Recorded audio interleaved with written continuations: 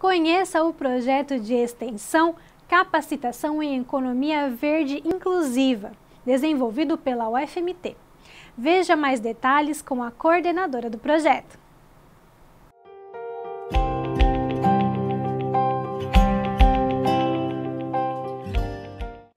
Olá, eu sou a professora Karina de Andrade Carvalho Rossetti, do Departamento de Arquitetura e Urbanismo da Faculdade de Arquitetura, Engenharia e Tecnologia da UFMT. Hoje eu vim aqui falar um pouco do projeto de extensão intitulado Capacitação em Economia Verde Inclusiva, preparando inovadores do amanhã, o qual atuo como coordenadora. Essa iniciativa fruto da parceria para a Ação pela Economia Verde, PEIGE, em colaboração com o Governo do Estado de Mato Grosso, é coordenada pela Universidade Federal de Mato Grosso, com o apoio do Escritório de Inovação Tecnológica e da Secretaria de Tecnologia Educacional da UFMT. A equipe técnica responsável pela concepção, elaboração e execução da capacitação é formada a partir de um consórcio das quatro instituições públicas de ensino superior do Estado: a Universidade Federal de Mato Grosso, a Universidade Federal de Rondonópolis, o Instituto Federal de Educação, Ciência e Tecnologia de Mato Grosso e a Universidade do Estado de Mato Grosso. Os trabalhos são desenvolvidos com a colaboração da Coordenação de Assuntos Internacionais do Gabinete do Governo do Estado de Mato Grosso, bem como do Escritório Técnico da PEIGE em Mato Grosso.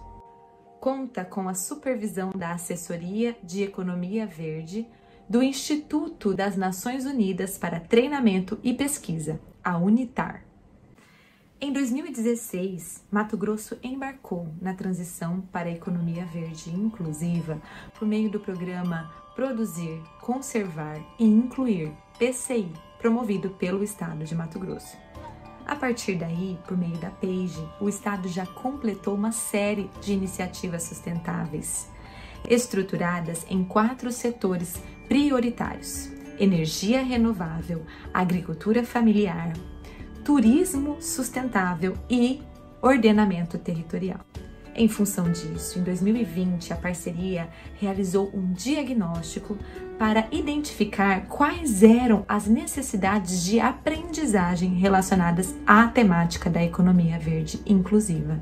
Buscou ainda avaliar a eficácia das formações que estavam sendo disponibilizadas pelas instituições e, a partir daí, elaborar atividades correspondentes. Das sete recomendações que o relatório desse diagnóstico trouxe, duas delas visavam fortalecer o ensino superior como formador de decisores, especialistas e inovadores dedicados à causa da sustentabilidade. Nesse sentido, esse novo projeto tem a finalidade de conceber, desenvolver e ofertar uma formação técnica de qualidade para os graduandos e pós-graduandos do nosso estado, de forma a sensibilizar e equipar futuros agentes do setor público e privado com as ferramentas e conhecimento necessário para impulsionar a transição para a economia verde.